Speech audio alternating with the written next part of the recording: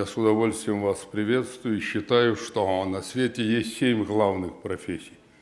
Если есть умный учитель, будет образованное население. Если есть хороший врач, будет достойное здоровье. Если трудятся эффективно рабочие крестьяне, будет и хлеб, и машины. Если есть инженеры и ученые, будет большое будущее. Если есть люди храбрые в погонах, можно спокойно ложиться спать, будет обеспечена безопасность. Эти семь профессий определяют судьбу любого народа и государства. Они реализуют любую стратегию, если есть власть, которая понимает главные тенденции и способна их учитывать, отмобилизовывая граждан на реализацию главных направлений развития. Я считаю, что послание президента в его обращении к стране после вступления в должность сформулированы стратегические задачи, которых давно не было. До этого были 11 указов, из которых только выполнен более-менее указ о безопасности, остальные во многом провалены. Сейчас поставлена задача выйти на мировые темпы экономического развития. 3,5% они складываются. У нас за 10 лет они составили всего 4%. Поэтому нам надо неизбежно выходить на эти темпы, в противном случае мы отстанем навсегда. Вторая задача – войти в пятерку самых сильных, успешных государств мира. Мы сегодня 11 с валовым производством за год 1 триллион 600 миллиардов.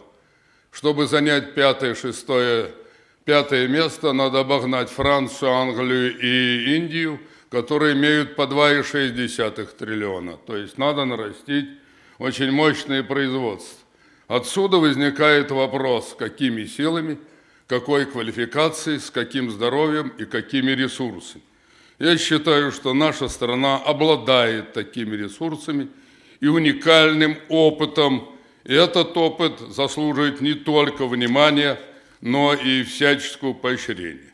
Хотел бы вам напомнить, что у нас в свое время, в свое время были самые высокие в мире темпы роста продолжительности жизни.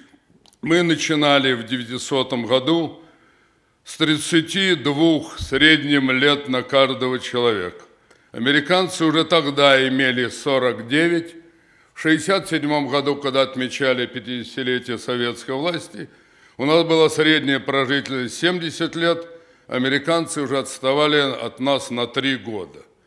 И эти 70 лет примерно мы топчемся на этом уровне последние три десятилетия. Самое печальное и самое сложное, что было подчеркнуто у президента, это вопрос сбережения народа и сохранения своего потенциала. Чтобы мы уверенно отстраивали свою стратегию, будь то в науке, в здравоохранении или образовании – мы должны понимать, что конкурентоспособны будем, если будет минимум 200 миллионов на наших просторах. За последние 25 лет мы потеряли с вами 9 миллионов человек, даже 7 миллионов мигрантов не восполнили этот процесс. За эти годы США увеличили свое население на 77 миллионов, французы на 10, англичане на 9. Поэтому вопрос – состояние здоровья, здравоохранения приобретает главный смысл. Или мы решаем эту задачу, или дальше все остальные, все остальные в принципе невыполнимы. В этой связи наша Дума недавно рассматривала бюджет. Когда президент представлял Медведева здесь в Государственной Думе, то я, выступая, сказал, чтобы выполнить ваше послание – выстроить грамотно стратегию. Для этого нужны законы. По нашей инициативе принят закон о стратегическом планировании, но чтобы мы выполнили ваши указания, надо расходную часть иметь не 15-16 триллионов, а минимум 25. И обосновал, из чего это складывается, ибо в мировой практике и в нашей жизни есть золотые сечения. Чтобы социальная сфера успешно развивалась, надо иметь 3 по 7. 7% на здравоохранение расходной части, столько же науку и примерно столько же на образование. Если пятую часть бюджета вкладываете в эти сферы, у вас есть возможность уверенно развиваться. у нас пока не доходит и до половины. Мы внесли 12 законов, которые позволяли аккумулировать ресурсы и реализовать эту стратегическую задачу. Причем, реализуя эту задачу, надо выделить в стратегическом плане и приоритет. Кто больше всего пострадал от рыночного фундаментализма и рыночной оккупации? Прежде всего, области с коренным русским населением. Я вам просто назову несколько цифр. Я родом с Орловщины. В свое время занимался и наукой, и здравоохранением, образованием.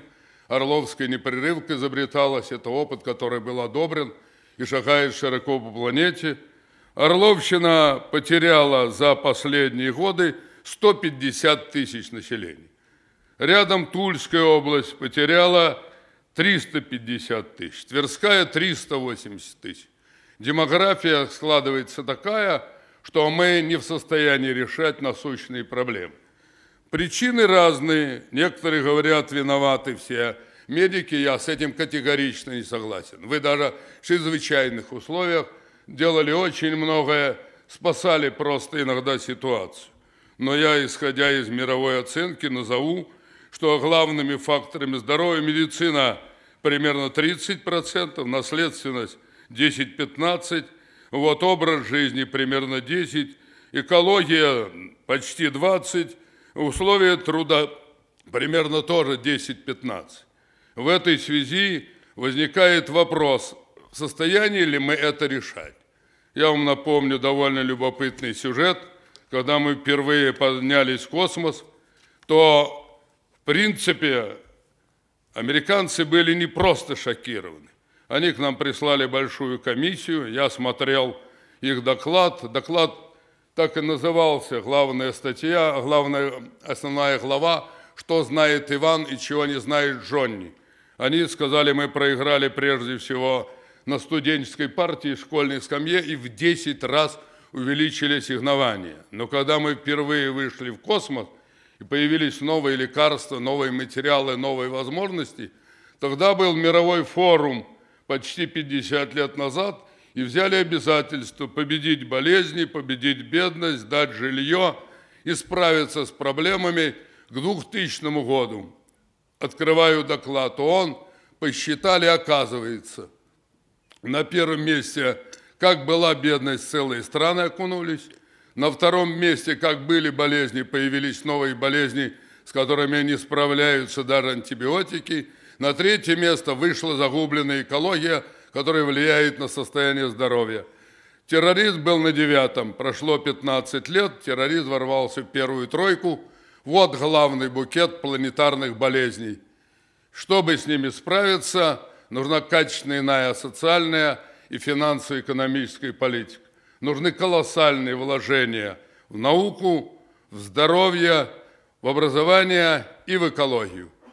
Для нас сейчас все уперлось в возможность финансировать этот качественный новый проект, который предложил президент в ходе своего послания – мы считаем, что эта задача реализуема. Мы предложили 12 проектов законов. Мы считаем, что завтра можно иметь реально бюджет 25 триллионов расходной части, а не 18, как сегодня. И показали пример. После дефолта по нашей инициативе был принят закон о народных предприятиях. Сегодня народных предприятия показывают лучшие результаты работы в стране. Приглашаю вас посмотреть, как реализуется программа оздоровления экологии и образования совхоз имени Ленина Грудинина рядом под Москвой, где средняя зарплата в этом году будет 80 тысяч рублей. У Соли Сибирской в Иркутске, где средняя зарплата превысила 100 тысяч рублей, полный социальный пакет, полная диспансеризация и хорошее медицинский уход и обслуживание – в Мариэл, где лучшее в стране хозяйство, которое заняло все основные призы на франкфуртской выставке. Решение проблемы есть. Нам надо вместе проявить волю и характер для того, чтобы одолеть эти вызовы времени. Ну а что касается целого букета болезней, которых мы все страдаем, вы лучше меня знаете. Меня, конечно, поражает, что мы, объявив, допустим, десятилетку детства, тоже президент объявил. Мы подготовили для этого тоже целый ряд реальных решений.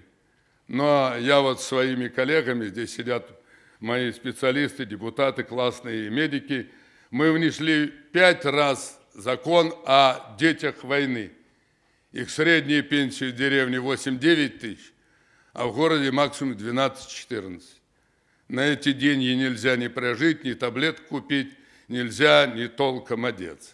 Мы внесли предложение о стакане молока, ибо в стакане молока для детей, особенно дошкольного возраста, есть все необходимое. Три раза голосовали, так не нашли 15 миллиардов, а это вообще копейки.